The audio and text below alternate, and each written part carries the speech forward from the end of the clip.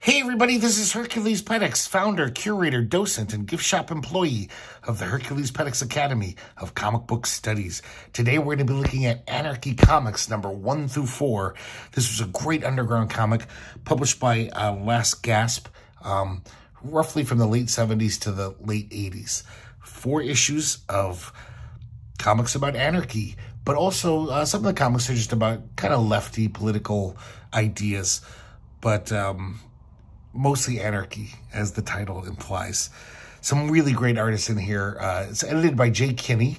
Uh, we've seen a bunch of Jay Kinney comics on this channel. Uh, Cover Up Lowdown, because he's really into conspiracies. And we saw his, um, what was it called? Corporate Crime Comics. I'm pretty sure he was the editor of that. So he's just always a, Jay Kinney's a very uh, politically minded underground cartoonist, even though he's always funny. Um, because you know he was behind Young Lust, so he always uh, most of his comics have a almost educational slant, but they're really funny and uh, use the comics form well. Let's uh, check out the first issue here, Cover by Jay Kinney. Nothing much. this is kind of a little graphic. Using the old basically the old stereotype of the anarchist was, uh, you know, a bomb-throwing radical. And uh, so the Earth has a fuse on it. And all the continents are mislabeled. I guess showing that it doesn't really matter. No borders. So we have a little uh, introduction here. And it's uh, it's supposedly an excerpt from a speech by Vladimir Lenin at Disney World September 16th, 1978. Very funny, weird stuff. We have uh, some cartoons here by Sy Seyfried, G. Seyfried. Um, I believe he he's European. Uh, is he Spanish or French? Sorry, I should have uh, looked that up. But really nice cartoony style. Popular misconception misconception of typical anarchist and you know, like I said, the bomb throwing guy dressed in black. Actual anarchist in real life. And it's a little family, suburban family, but the kids are holding bombs still. So they, they don't take themselves too seriously in this comic. Uh, this first issue is 1978. And we start off with Jay Kinney's Too Real. And this is him using all this kind of a uh, collage and text a lot of clip art. And we just see this guy, uh, Joe, you know, he's living the typical corporate American life, but uh, he's disillusioned by it. And he becomes an anarchist. But it's mostly just a lot of jokes. It's all about anarchy. Pretty funny stuff. Here we have Spain Rodriguez. This uh, comic was originally published in 1976 in another magazine. It says, it looks like it says TRA. I don't know what that is. So, um, but this is a biography of Nestor Makhno. And he was basically, you know, after the October Revolution of 1917 in Russia, he was basically, you know, anti-Bolshevik he was definitely, you know, wanting to take down the Tsar, was on the side of the Bolsheviks until the Bolsheviks took power and they wanted to crush all the other political parties, which they did. And so he fought the Bolsheviks, but, uh, you know, he held out for a while, but eventually was, his forces were taken down. It's kind of sad. He uh, fled to Paris where in 1935 he died of chronic alcoholism. So he was this great leader and, uh, you know, for freedom, but just ended up in a gutter, drinking some cheap French wine probably. Really nice Spain art, though. This is one of the earlier uh, Spain political, uh, historical stories. Spain, you know, became known for that, doing these great little historical pieces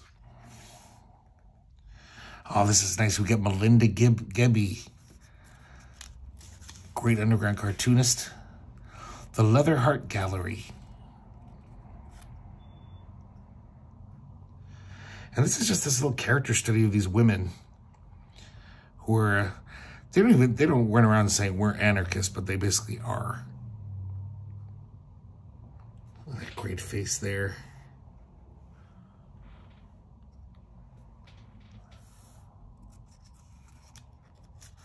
Just a weird, odd little story. Just, you know, like Melinda Gebbie do. She's uh, definitely an interesting writer.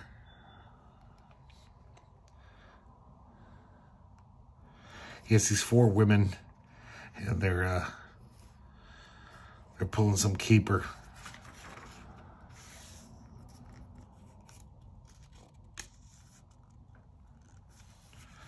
Wonderful Melinda, Melinda.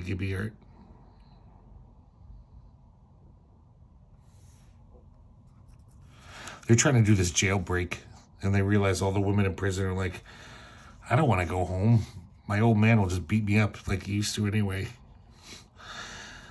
She, I eat better here than I do at home, you know. Here we uh, get another Spain story, Blood in the Sky. And this is about the Spanish Civil War.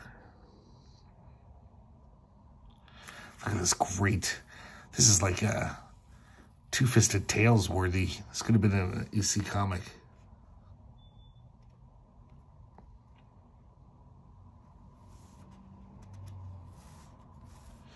And we see the anarchist forces. And the main character is this flyer. He was just a guy looking for war. And so he joined the cause, the Republican cause in uh, Spain. It's, it's almost like an old war story, just lots of scenes of combat. But of course, uh, Spain puts lots of history in of the time.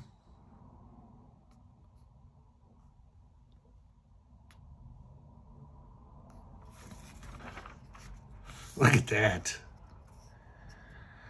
Man, Harvey Kurtzman would have loved to have him draw for uh, one of his EC War comics. Oh, that's nice.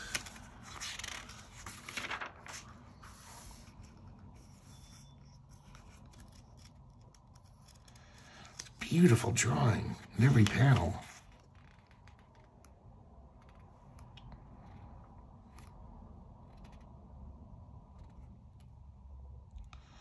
This was really interesting. I've read a little about the Spanish Civil War, mostly from George Orwell, Homage to Catalonia, his, his book. But um, if you know anything about that war, it's basically the the communists basically like killed all the competition who were fighting the fascist Franco. So, you know, the anarchists and the Democrats, Democratic forces, and the communists all teamed up to fight this fascist who uh, did a coup. But uh, I don't know if this is a, a true thing, but uh, Stalin gambled on making a deal with the West, even to the point of smothering a revolution in Spain. So he was wanting to toady up to the West, you know, to fight because Hitler was there. He needed help to fight Hitler. That he kind of like said, hey, see, I, I helped keep this right wing fascist in power just the way you like it.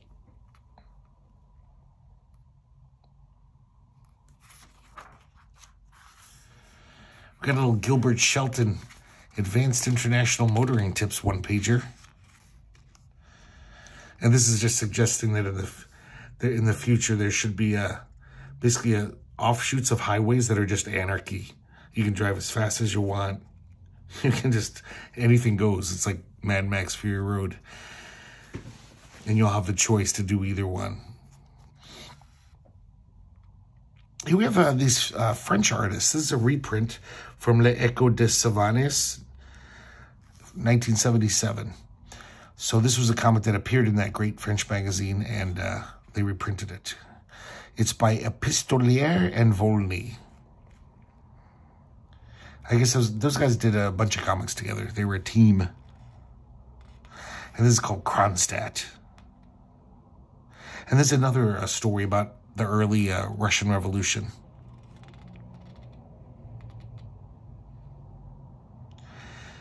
And Kronstadt is another one who's basically like, hey, we fought against the Tsar, and now you guys are almost being as bad. So they, uh, he starts this revolt. And they're totally socialist. They just want to have a more democratic form of socialism.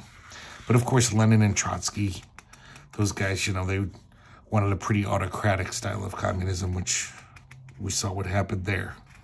it didn't end up well.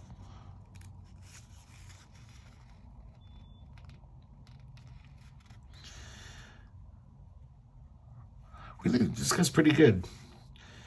Very, um, I guess pedestrian's the word, but really, I mean, really well done. He could, this guy could draw, but um, doesn't really exaggerate, you know, like a good cartoonist would.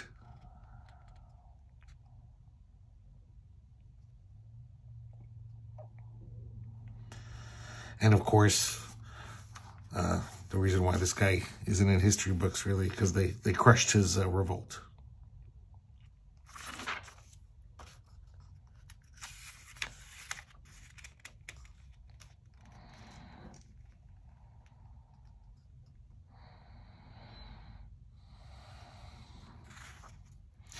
They show a, a young Joe Stalin chuckling to himself at the end.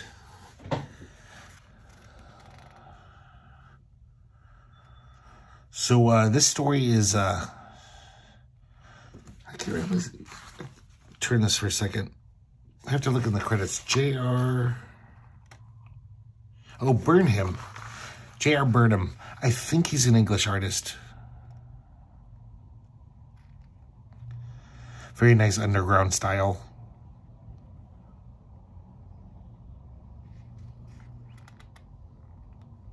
And there's just a warning to anarchists, you know. Like, uh, maybe you should uh, buy some guns because they'll be rounding us up soon. And it shows this kind of like 1984 like future.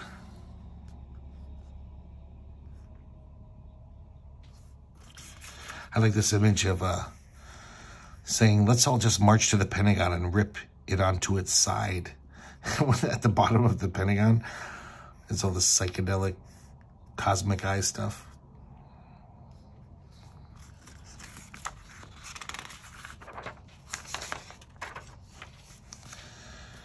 This is a Cliff Harper, uh, English pol uh, political cartoonist. Well, I mean, he did lots of undergrounds in England. And uh, almost all of his comics are political. He's a very uh, radical guy, it sounds like.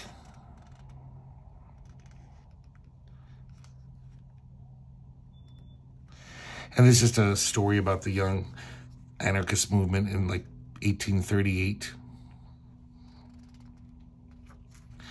And this woman uh, flew a black flag and a cap of liberty which I don't know necessarily what that is.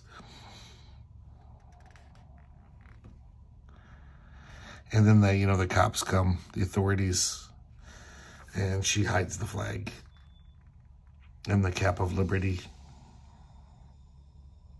They find the black flag, but never the cap.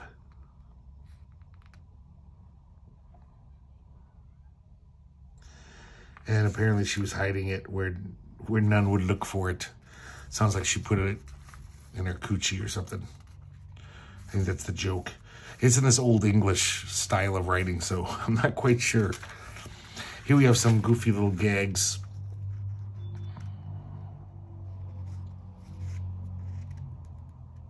I think these are all Jay Kinney. This one's trying to duplicate Doonesbury.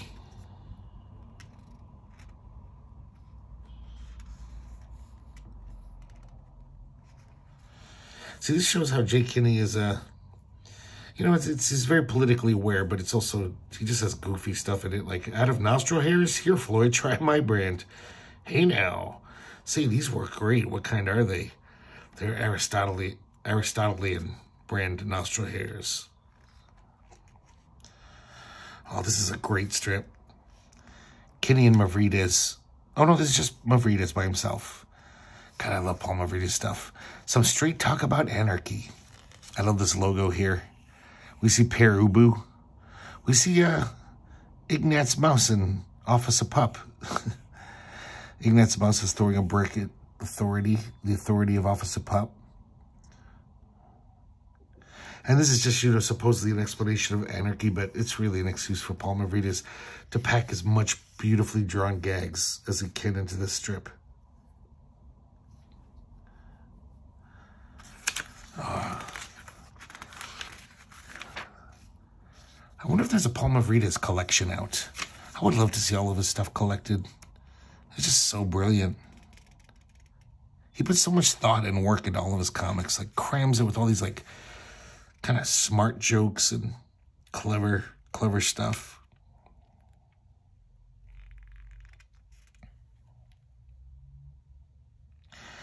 Yeah, this is kind of hard to summarize. Almost every panel is just a new idea. It's not much of a story.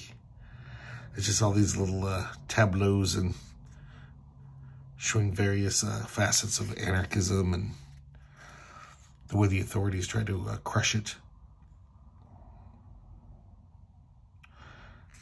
Quit thinking like a TV set. You control the horizontal. You control the vertical. You can turn the damn thing off.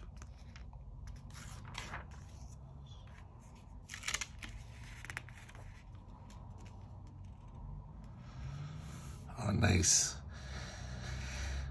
Looks like we have a, a walkout. The anarchists have won.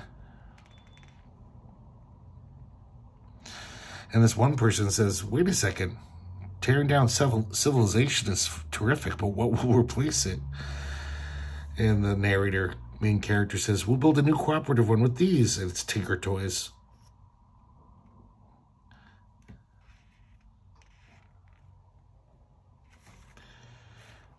A nice ad for uh, other political magazines. So they really kind of wanted this to be an educational thing. Here's a back cover by that guy, Jay Seyfried uh, God, sorry, French or German? Exclusive on-the-spot sketch of mass anarchist demonstration in Tien Tiananmen Square in Peking. And we see that uh, bomb-toting anarchist and all the communist Chinese have bombs themselves. I really like his cartooning. I gotta find more of this guy. Okay, let's look at number two. Another cover by Jay Kinney which is just a photo, a little collage. we see these two punk rockers and they put George Washington's head on one of them. Not much of a cover. Great logo, though. So this issue is 1979. I guess it sold pretty well, Anarchy Comics number one. There was like three printings of it. Here's a little co-introduction by this made-up character. And uh, this is uh, just tells us all the, the contributors. Another cartoon by Jay Seyfried. I guess he, he's almost like the mascot of the magazine. We see a story here about the Wobblies, a true story by Steve Stiles. The, you know, we've seen Steve Stiles many times in the underground videos we've done on here. Um, usually did funny, goofy stuff. I've never seen him draw so straight, and uh, it's pretty nice. Well, I guess I have seen him once draw this straight. But this just looks like, uh, you know, EC comic stuff.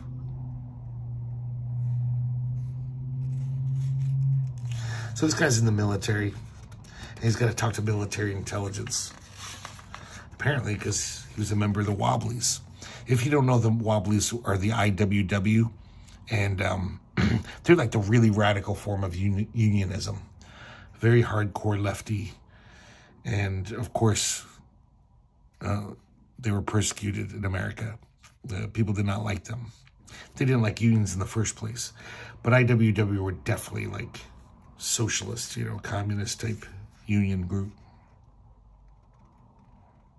So the, we're basically just getting a nice little history of the Wobblies.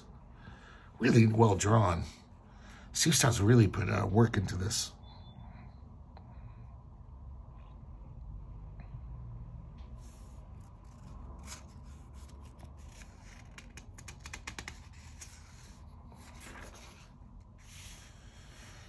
And we go back to the history.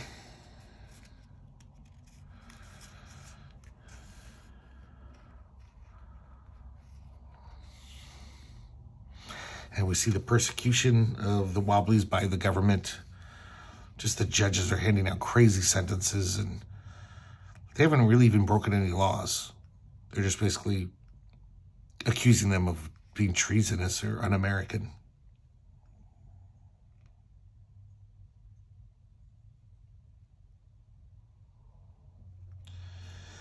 And at the very end, the young uh, soldier, he, his accuser, he says, just between you and me, it's kind of bizarre to worry about an outfit that ran out of steam over 40 years ago.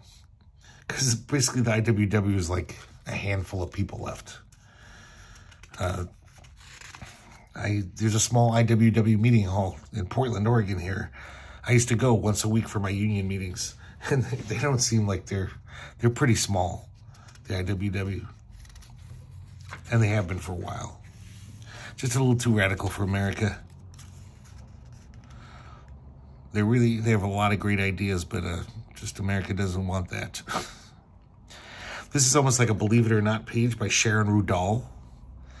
And uh, just showing throughout history all these interesting little facts about when societies were a little more had elements of anarchy, or you could even just say like real democracy. Like in ancient Greece, uh, leadership was just assigned by lottery for a limited period. So they were just like, yeah, we don't want this senator to be there forever. He's just, we just need someone to basically uh, organize the the meeting, and you're temporarily it.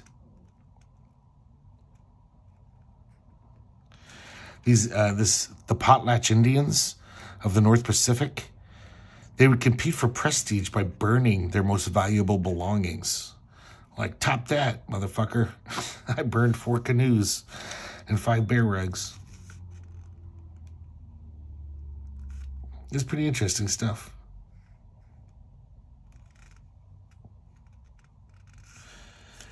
This is just hard to believe. According to the Mayan caste system, the big shots were responsible for the general well being and subject to severe penalties for failure to deliver.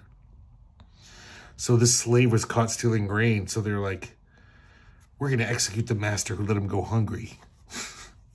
I can't even imagine that world. Here we have a nice, uh, it's called cult, culture documents. It's all spelled weird. And this is great. It has the political bizarros, a little nod to Mort Weisinger era Superman comics. These guys are like bizarro.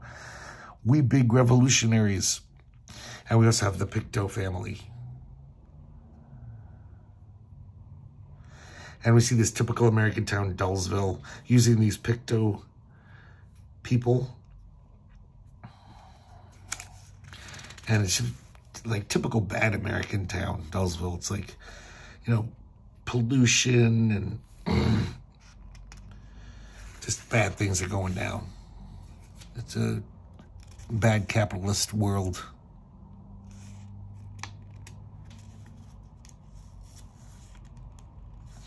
And the, the daughter becomes a, joins a cult. It's that Bizarro cult. She even turns into this, like, you know, looks different. and the parents uh, abduct her to deprogram her in a hotel room with this deprogrammer. And she actually converts them. So after the two weeks are over, they're like they're bizarros now. And then meanwhile, the son, who's been home this whole time, locked in the house, he starts, he's bored, so he starts reading his favorite comic, Anarchy. Anar, yeah, I guess Anarchy, Problem Child. And it's this great parody of uh, Archie Comics, but he's an anarchist. Jughead is called Lewd Head. And then the comic just turns into the Archie parody. This is very typical, like, you know, Mad Magazine stuff.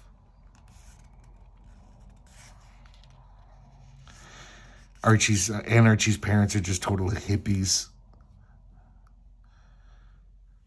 And he, he doesn't like it. He's a young punk.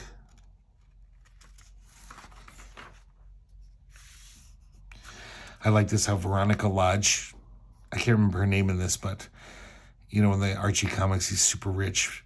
So in here, he acts like a super rich person. Like he has this party and he's talking about like, oh yeah, we, uh, thanks to my money, we toppled that uh, democratic government in South America, installed our own puppet fascist.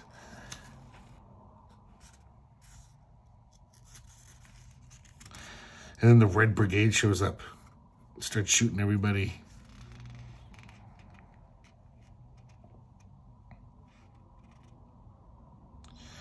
So the Bizarros start this revolution. The workers take control of the factory. The son finally breaks out of the house and he goes down to the factory, starts trashing police cars and stuff.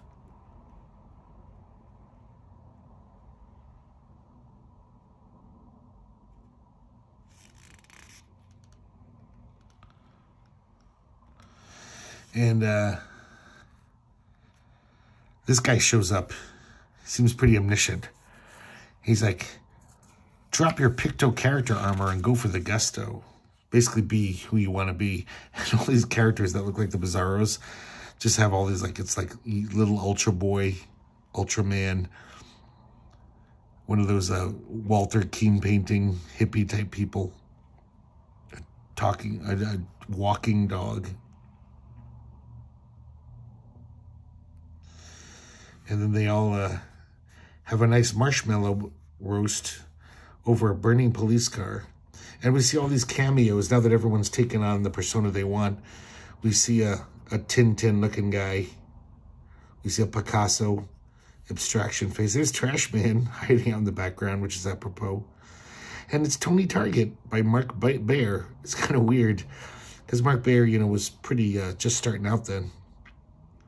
It's a nice homage. Yeah, Jay Kinney and Paul Mavrides whenever those guys collaborate, it is just so much.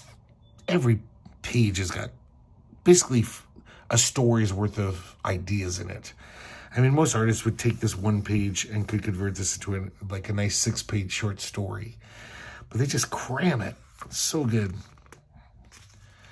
Next, we have uh, English artist Cliff Harper again, illustrating uh, Brecht's uh, The Black Freighter. I think this is from the Three Penny Opera? Or maybe it's a separate thing. But this is, uh, you know, it's in verse form.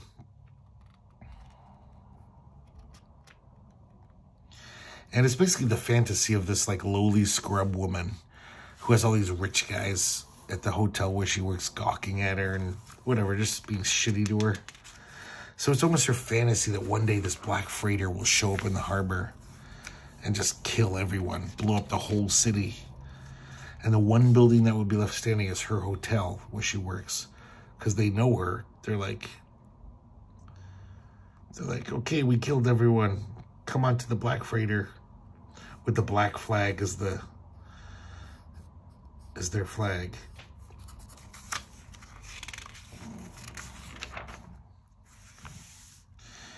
But uh, the way Cliff Harper draws it, we realize that uh, now this is just a sad fantasy she has. A bitter fantasy every day while she's scrubbing the floor. She's like, ah, that would be great. Because in the her fantasy, she kills all these rich fat cats from the hotel. Here we have another nice Spain uh, historical biography, Durruti. And uh, this is during the Spanish Civil War once again. Really nice Spain art. As usual, I mean, that guy usually uh, is pretty fastidious. He doesn't dick around.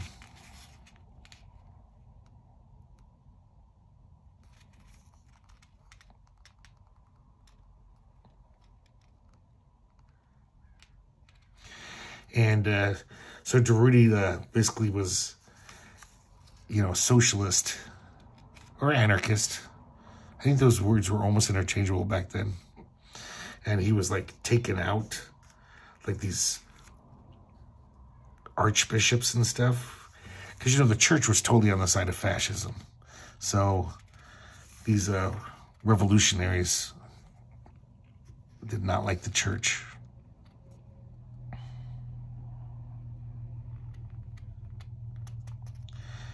And once again, you know, of course, uh, the reaction by the authorities, by the fascist powers, is even worse than what anything Durruti ever did.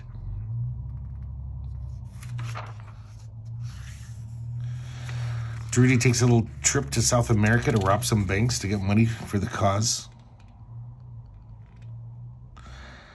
Here's a little uh, crossover, like in a Marvel comic. Uh, he he meets great Ukrainian anarchist Nestor Makhno, who we saw in the first issue. It even has the See Anarchy Comics number one, just like uh, Stan Lee would do.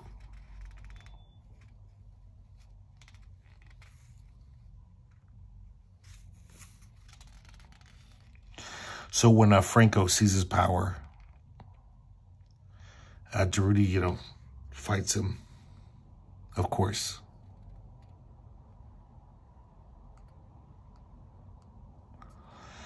And they did pretty well against the fascists for a while, but, uh, you know, we know what happened.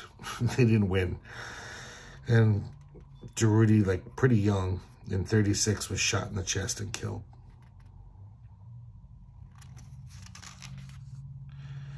Oh man, I love this time period of Spain. Spain's artwork in like the late 70s. It's perfect. Romantic Anarchy featuring Sally Saliva, Supreme Sister from the Syndicate. This is a Peter Pontiac comic. Uh, great Dutch artist, Peter Pontiac. Very Robert Williamsy looking, but also definitely his own style. This guy's an amazing cartoonist. He puts in the work, that's for sure.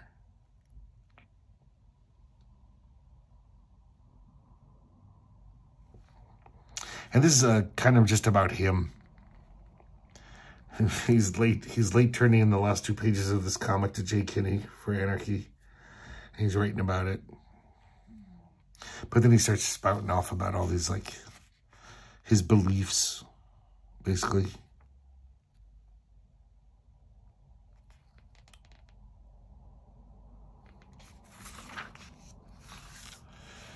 Radical Reflections. This is supposedly a PBS show. And we just see these various viewpoints, is arguing about class and anarchy and stuff like that.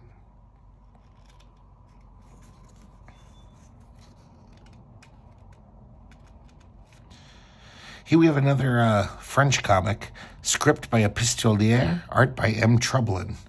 Oh, so this is a different artist than the other collaboration. This is also from Le Echo de Savanes. The Yippies at the Exchange.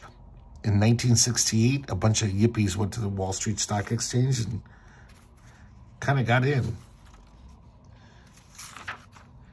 And they threw money down into the that main pit where the guys trade stocks and it causes total chaos. And then they had a pile of money and they lit it on fire. And that was just sacrilege. They were just like, oh my God, you can't do that. And because of this, the, uh, the stock exchange uh, installed bulletproof glass and metal grills around the visitors galley. Used to be way more open. Really nice art from this guy. Very stylized. I like it. I like the shadows in that panel. It almost looks like Frank Miller. Oh, we get another Melinda Gebbie. Quotes from 1910, Red Emma. So basically, it's uh, Melinda Gebbie just illustrating all these uh, quotes from Emma Goldman, the famous uh, anarchist and I guess feminist. Even though, strangely enough, did you know Emma Goldman was against suffrage for women? She was always speaking out like women shouldn't have the vote, even though she was a total feminist. It's very strange. I've read a lot of a bunch of stuff about her, and nobody really quite explains it well enough to my liking. There's a quote in here where she says why, but it seems ridiculous. It's like, well, why not have the vote too? The vote won't give you freedom necessarily, but it's a good thing to have, just to have equality. So these are some great quotes from Emma Goldman about the institution of marriage and uh, how stifling it is to women. These the lettering in this is crazy because these pages, the title, look at this insane lettering. It's hard to read. Read wealth consists in things of utility and beauty. This page is nuts. Just using so many different styles. It's almost like four artists are jamming on this page.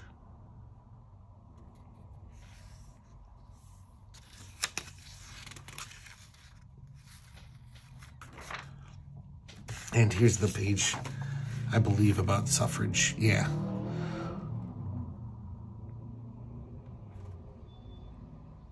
I love this little montage here showing all the sex roles reversed. Like this guy's pregnant. I don't know what the hell that's supposed to be. Just this demon succubus. Amazing.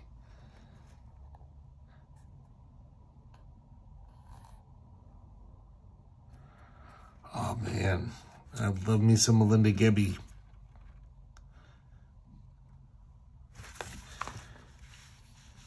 And that's great too, just this. I'm not quite sure what's going on in this comic. It's Melinda Gebbie. She, uh, she has an interior world, which I'll, I'll never quite understand, but I, I love visiting. The bizarre yet familiar world of commodity fetishism. Jay Kinney. Two-Way Wrist TV from Dick Tracy. Just talking about how people, all these newfangled inventions, people are just so like fetishize them. I guess the Betamax video recorder was just coming out then. I love this. Paul Mavrides. I guess this was, this was available as a poster. It's just this uh, portrait of Mao Zedong, but like Walter Keane style. That's cute. That's funny. Okay, Anarchy number three. Beautiful cover by Peter Pontiac. I love this cover. This is just, oh man. You just stare at this for 10 minutes and just keep seeing all this little detail. I love the sleeping demon up here.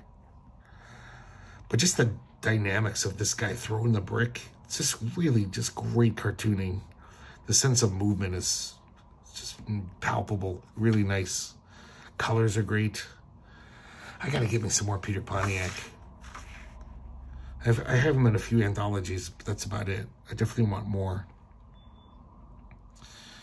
Here we have a supposedly an introduction by Dr. Adam Weishaupt, the famous Illuminati figure. And this is 1981.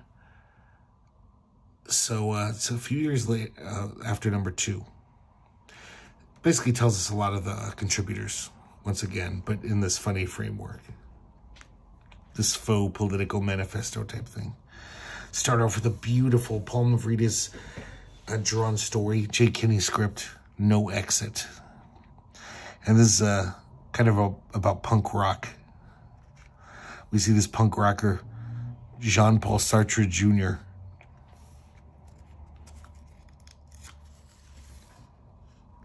and he's a total stereotypical like like the TV version of punk. Like he'd be on Quincy, an episode of Quincy or Chips or something.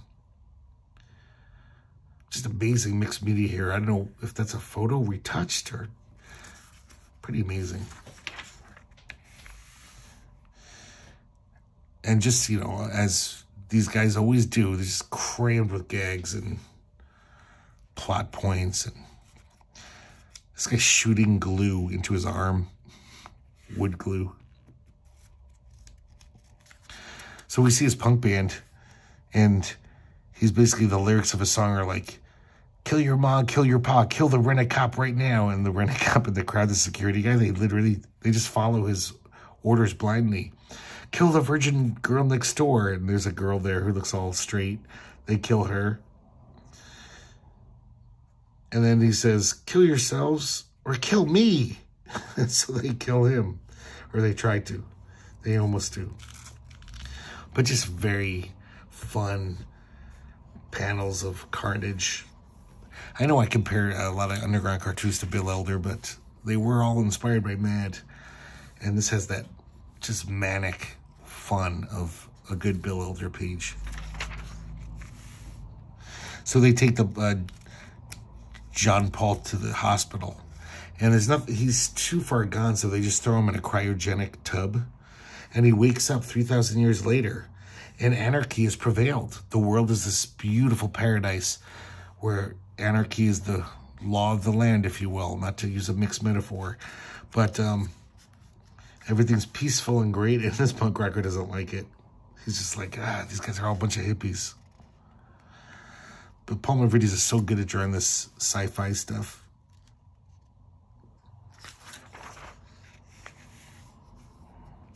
And he's not fitting in at all.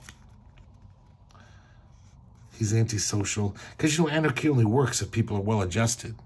If, uh, if everyone's a psychotic, you know, narcissist, they're just going to take advantage of the fact that there's no laws. But these people are all pretty emotionally mature, and they realize this guy's not. In fact, he's pretty horrible. So they eventually just say, you know, we don't often do this, but we're sending this guy back in time. And they're like, I hope we uh, ironed out the kinks from last time. And I guess they didn't because they send him back to 1967, Haight-Ashbury. And we see this total crumb-like homage of all these hippies. And he's just like, ah, this is hell. For him, that's hell. like this panel here. This kind of reminds me of Ditko. Later Ditko, some weird effect he would do. That's a great one. Here we have the French guy Epistolier again, with M. Troublin again. Anarchy in the Alsace. The Revolt of the Rustauds. I know I'm pronouncing that terribly, guys. Sorry, I don't know any better. This is a reprint again from another French comic magazine. And this is a story about the um, the Rustauds. They were these peasants who basically finally got fed up. This is like the 1500s. And they started revolting and like made an army. And we're going from town to town. We're ransacking them. It's just weird that this didn't happen more often in the Middle Ages. I mean, because th these people's lives were just like slavery. They're just miserable. And uh, the rich guys had all the power and they had nothing. And they had so many more people than the rich people did. So it's just weird this didn't happen more often, and I wish it did. But of course, like all these things, the there's squabbling within the peasant army. The more bourgeois elements of it try to take over, and they don't like that. So, you know. So the king, of, of course, with the with the help of the church. They uh, they kill, exterminate all these peasants. It sounds like tens of thousands of them were killed. Oh, I'm sorry, hundreds of thousands. It's this is interesting. They go to Martin Luther. They think he's going to be on their side, and he's like, "No, you guys got to bow down to the lords." The lords receive their authority from God. I also would have hoped that uh, more of the peasants back then would have been atheists because the church was so corrupt. I'm amazed they put up with it for so long. Here we have this uh, comic called uh, Wildcat. I believe this is uh, reprinted uh, from an English um, uh, lefty magazine. And maybe he did this just for for Anarchy Comics. I don't know. But it does say Wildcat appears in every issue of Freedom from London. And this is just a total gag comic. Wildcat is this crazy anarchist type. Look, he's got his bomb.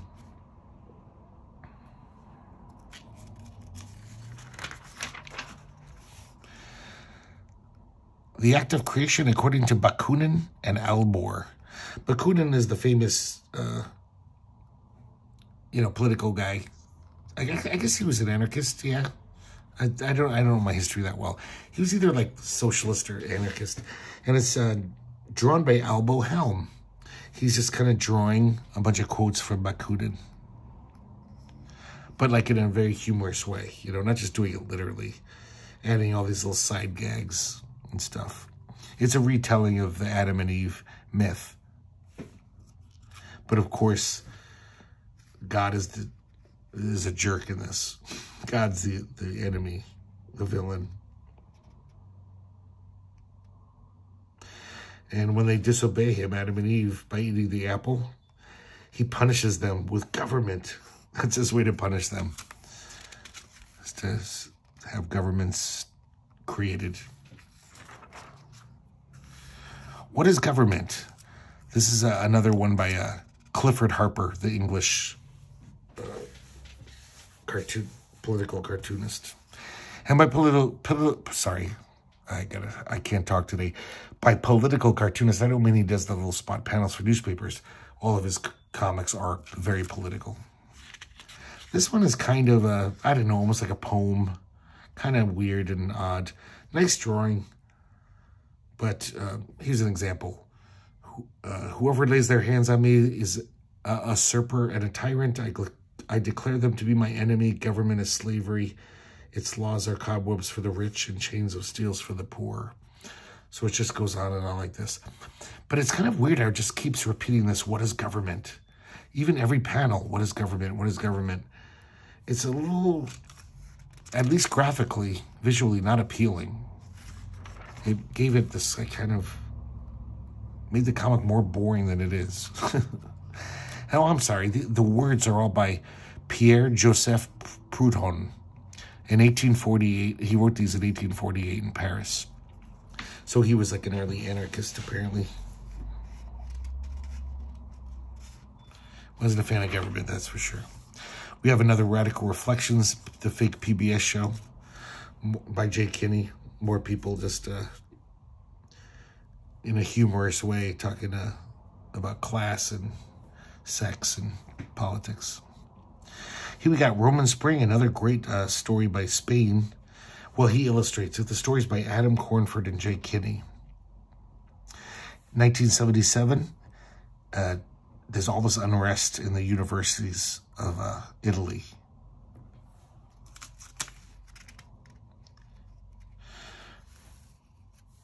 This uh, guy Salvatore is visiting his daughter Sylvia.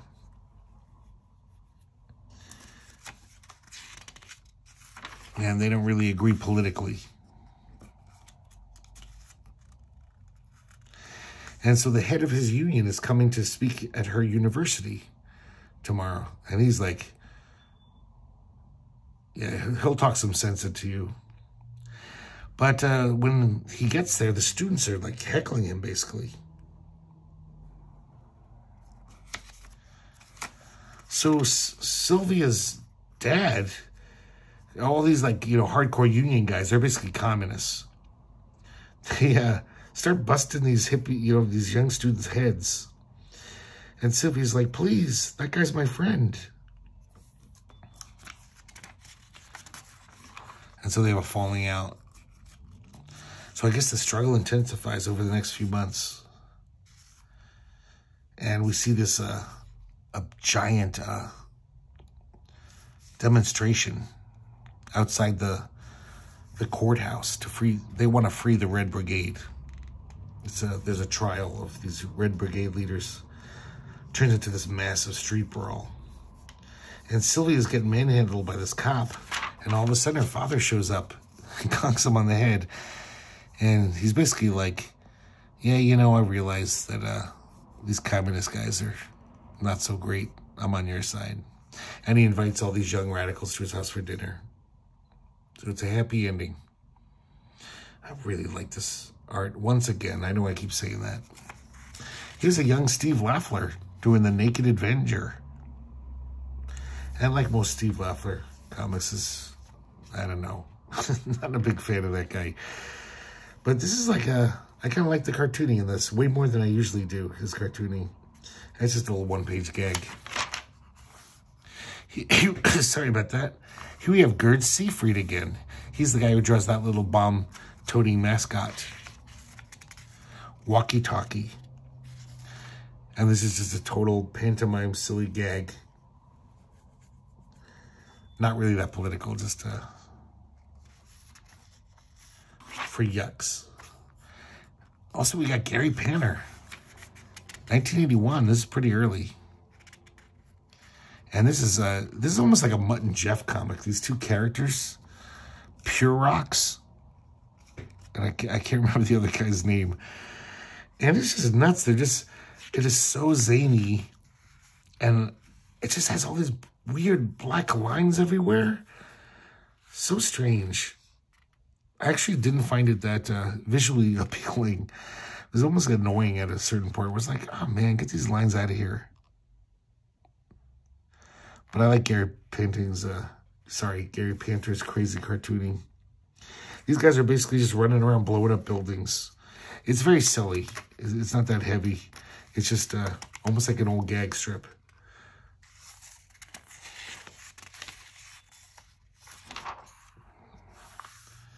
Uh, we got more Melinda Gebbie. Beautiful stuff. Benjamin Péret, po Poet is Revolutionary. And these are all... Oh, wait a second. Oh, I'm totally wrong. I thought this was Melinda Gebbie. Oh, it is. I'm sorry. But it's Adam Cornford. I assume writing it, maybe? This has some amazing Gebbie artwork here. Yeah, this is just like the surrealist poet. I'm sorry. Yeah. And she's illustrating some of his writings. And look at this, just insanity. This is just amazing surreal art. The poetry is very surreal as well. And it's pretty well illustrates the feeling of the of the words. I'm to assume that's maybe the poet because that's uh, drawn very straight. This is some amazing stuff. Of course, you know, it's just, it's all surreal. I don't really quite understand it. I'm Mr. Caveman over here. The abstract stuff loses me, but it's fun to read and just bizarre. Oh, it continues here.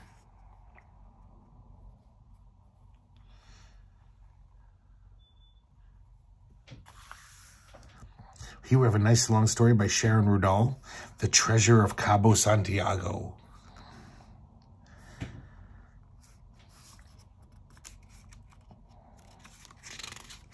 And we see these kind of well-off Mexican people, and they're talking about how it used to be this little town, where now everything's all slick and fancy and all these tourists come.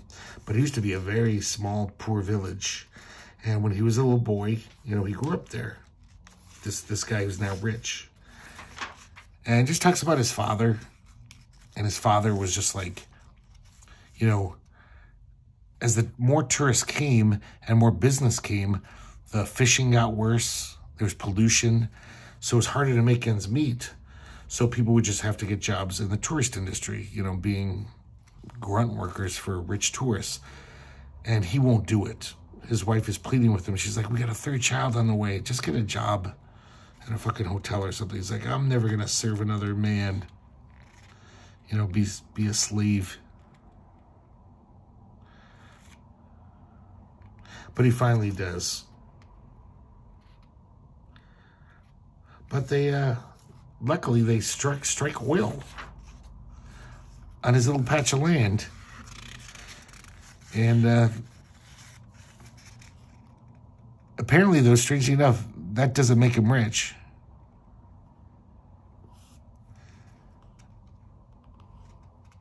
because the government had subsoil mineral rights.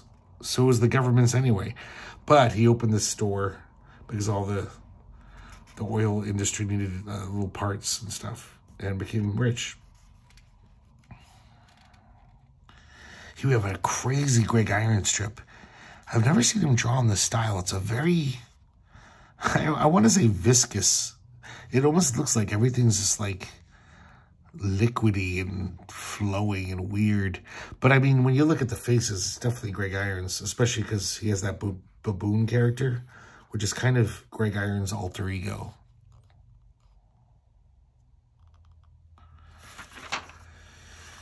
And this is very just, uh,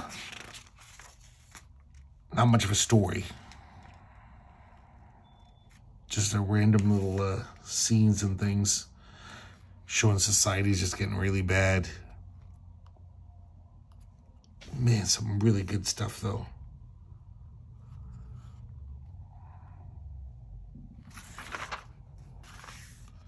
Love this crazy last page.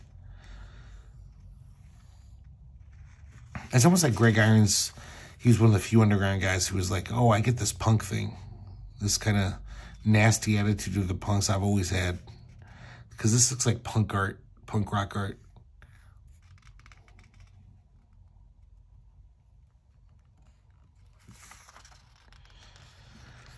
Here we have these little gag strips by Dale Lester. I'm sorry, Dave Lester. Kind of about, not about anarchy really, more about um, relationships between uh, genders, between men and women. Marion Ludbrook does these poorly drawn gags. And we have a, a little half-page Jay Kinney gag strip, New Age Politics.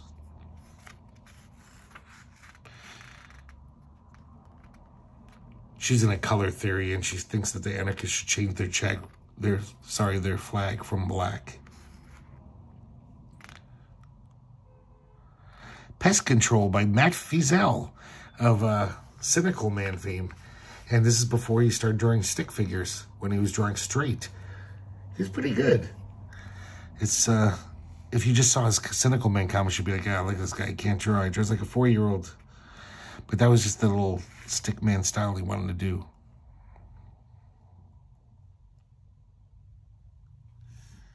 It's decent, straight cartooning. It's kind of this crazy story where the cockroaches and ants on this guy's property are just getting out of hand. They're like mutating and taking over. So he trains the ants to attack the roaches. Through all this positive reinforcement, he gives the ants, you know, like food and stuff and makes them, they start obeying him. I like this, the roaches take the kitten hostage, and when the ants show up, the kitten's all tied up. He's bound and gagged. So he has to, he leaves the house for a second because the wife's going to leave. She's like, you're crazy. This is nuts. And while he's gone for just a few minutes, the ants and the roaches get together. And they're like, hey, we should be on the same side fuck this guy. And they chase him out of the house. The ants teach the cockroaches co cooperation. The cockroaches teach the ants to think for themselves. Here we have a little bulletin board with some information about other anarchist publications, comics for sale, and a back cover by Pepe Moreno, who we've seen many times in doing science fiction comic strips in Epic Illustrated. But I guess uh, is this uh, political pit up. Fast acting relief from annoying pests. New improved anarchy spray. And, uh, you know, see these mosquitoes, communism, America. Okay, Anarchy number four, the last issue. This was published way after number three. This was like 1987, I believe. Beautiful Paul Mavrides cover here. I love it. He uses the comic dots like the Zip-a-Tone, it gives it this amazing misty feeling, like this, a really cool effect. Which, you know, this is before computer imagery and stuff. You could probably do this in a second now. It probably took him hours to get that effect. Laying down screens and su such. Love that one. I love how he's, uh, like this, he's a caveman and he's got a golf club and a telephone receiver as a little weapons. All these computers are in the rubble. This guy's got a hammer. De-evolution. Once again, we have another, uh, you know, the contributors, but it's this uh, supposed legal document about the conspiracy, you know, the man um, pressing charges against the Anarchy Comics Collective. We have another great Kinney and Mavrides collaboration, Armageddon out of here. And uh, I guess uh, there's a survivalist dude, Bud. And one day it happens, nuclear war. And all these cities go up. But then we find out it was just a simulator. It was just a simulation exercise, so the world hasn't been blown up. We see this one guy who works there at, uh, you know, the military. His name is Dritz. He uh, tests the space case defense system.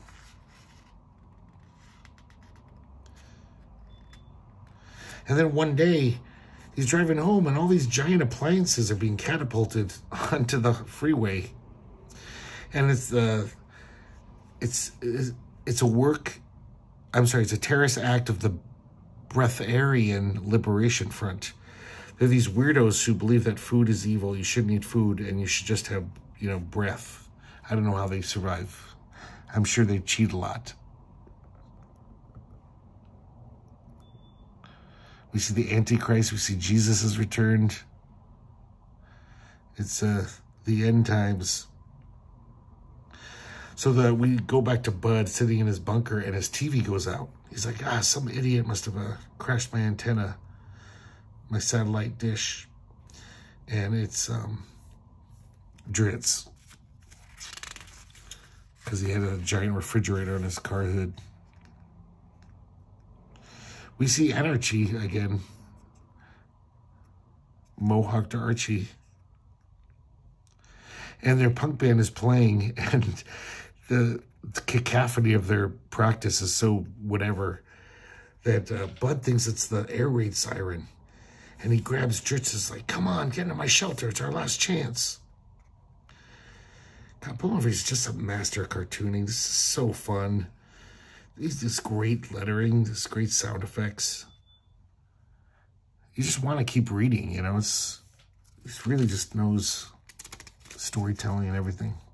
So these guys are down there for 10 years in the bunker. And finally, after 10 years, it uh, automatically opens. And they go out into the world. And it looks like the Breatharians have taken over. The fast food chain there is called Stop and Sniff. And they just have little bags of smells so you can get like banana puff, rocky road. So there's nothing to eat. You just smell stuff. They offer some granola to these people.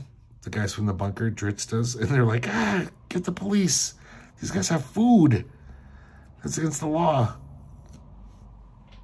And then, uh, and then all of a sudden, the, the Antichrist and Jesus show up. And I guess they've teamed up and are going on a crime spree with Mary Magdalene, who's drawn just like Betty Page.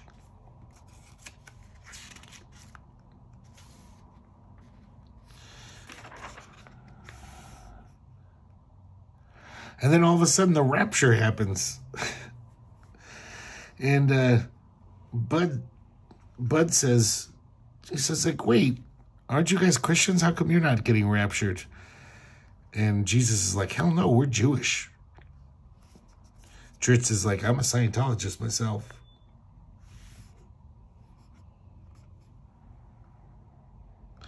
So this plague of locusts comes down. These uh, communist Breatharians, you know, had them surrounded. Oh, I'm sorry. These guys overthrew the Breatharians. They're all skinny because everyone, nobody's been eaten. And then the plague of locusts attacks them. And it just gets nuttier and nuttier. And then Jesus and the Antichrist start fighting. And then the White Brotherhood of Wotan shows up. And they unleash the Serpent of Midgard.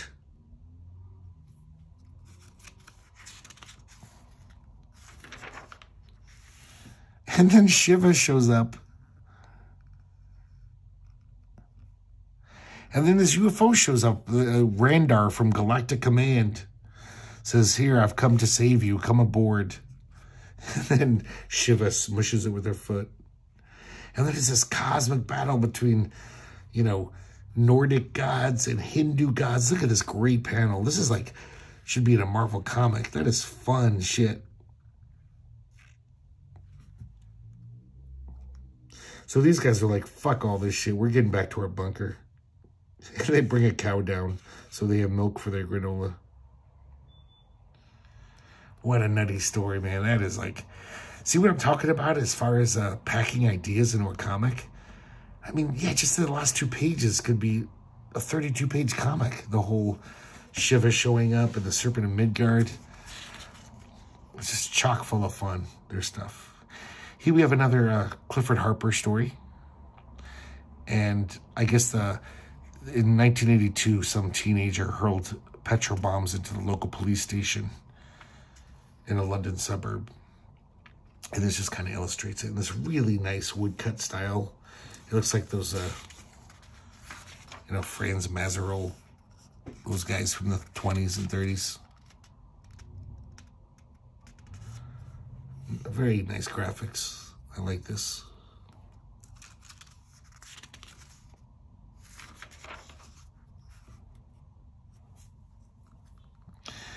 Little strip by Norman Dog.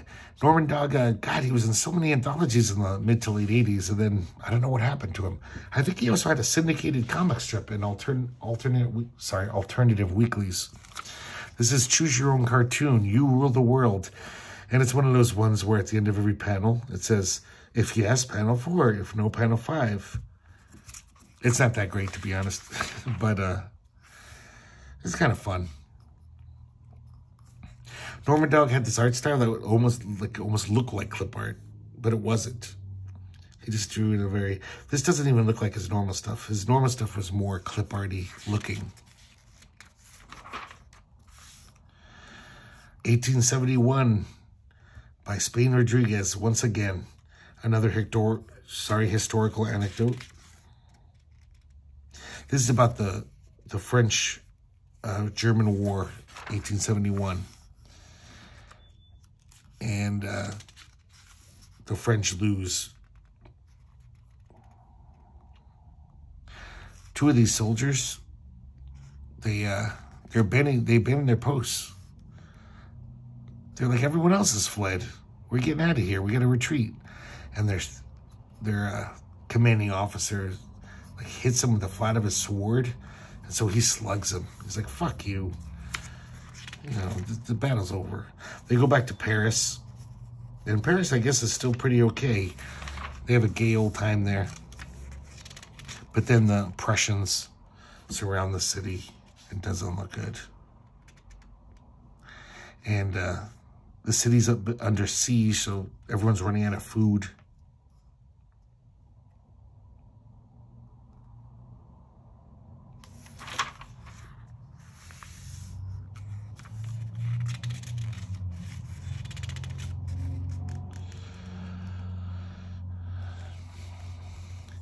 So the Prussian army walks through the streets victorious. They've taken over.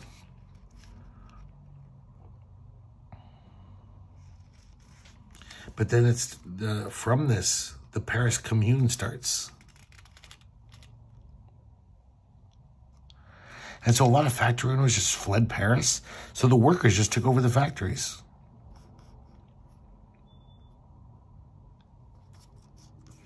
But I guess they weren't politically savvy enough. They couldn't uh, retain the advances they made. And of course, um, eventually the authorities crush it, like they always do.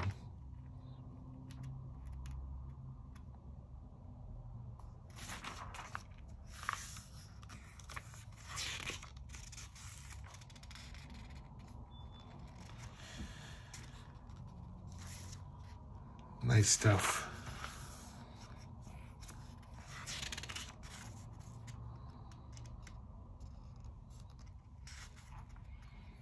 And of course, the authorities like massacre all the the anarchists slash communists. Uh, I love I love that this every issue has got Melinda Gebbie in it. Public Enemy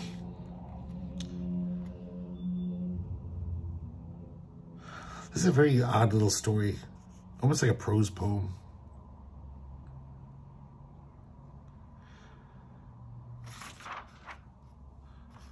It's like, I love how every story, every panel, Melinda Gebbie's got a different style going on. So many different styles in this comic alone.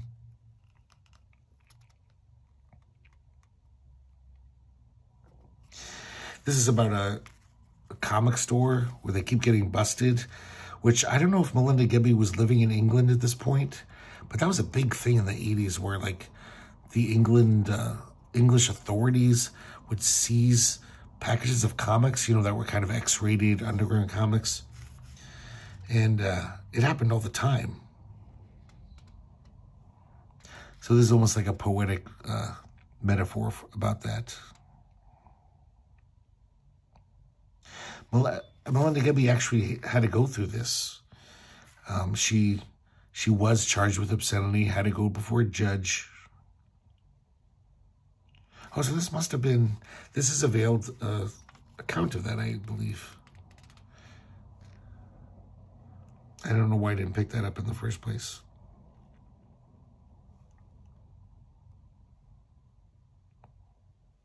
Her book was taken off the racks, all copies burnt to grit.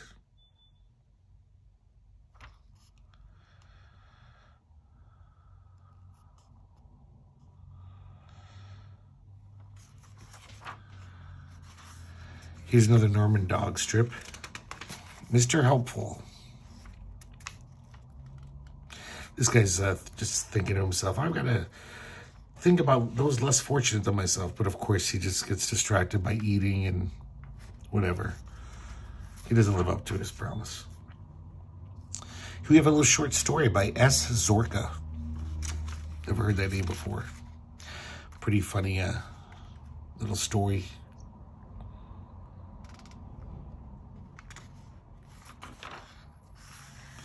And here's R. Diggs showing these, uh, all the corporations are dinosaurs. And they feed on those who are smaller.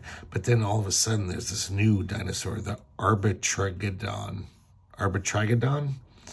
And it feeds on bigger creatures. It's basically, um, it's that whole junk bond thing of the 80s. Like that movie Wall Street. So, uh, this little guy's gobbling up all the bigger corporations, taking them over. Really great cartooning in this. I like R. Diggs. Very classic style.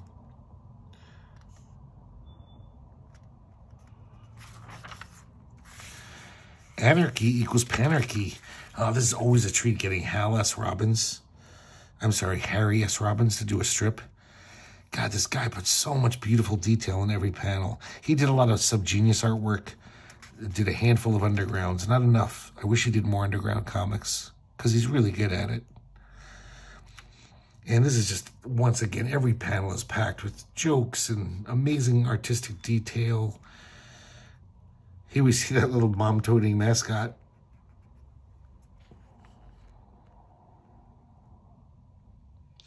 And he's basically just uh, defining anarchy.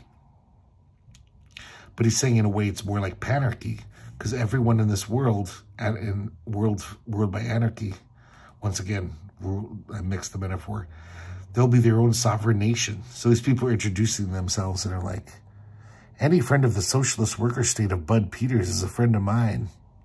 Let me introduce you to the Grand Principality of Peggy Trockman. And he's just showing off this ideal anarchist world. But oh, there's so much stuff in here. This is another one. You could spend just 10 minutes looking at these two pages and he's a total Bill Elder. Um, he's in a museum and it says chaos, trying to um, illustrate anarchy, you know, some of the definitions of anarchy. And I think why this Elder signature is there, I think this was a mad parody of abstract art that Elder did. And it even shows that old woman saying, Willie, like in all the old Mad comics. It's so weird.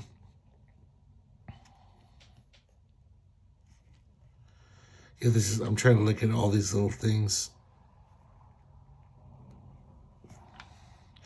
Here we have the, he's talking about the fat cats, and one of them is Garfield.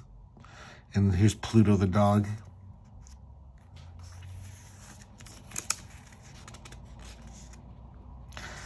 But of course, the whole time he's talking about this beautiful anarchy world, he uh, he's been surveilled by all these DEA, FBI, IRS, and they come to his door, and he, he tries to fight him off with his frying pan. But of course, uh, he's overpowered. He can't win against that shit. Nice stuff. Here we have a one-pager by Byron Werner. See this little baby in a weird landscape. These aliens said, hey, we want to share our technology with you. And the baby says, the civilization of this planet is still too primitive to use the knowledge wisely. Please return at a later date. And they fly off. Another nice Kinney and Mavrides one-page cover-up lowdown. And uh, we see these like Contra-type soldiers killing peasants in Latin America. And they're like, our guns are jamming. Go get some more. And look, it's Fat Freddy.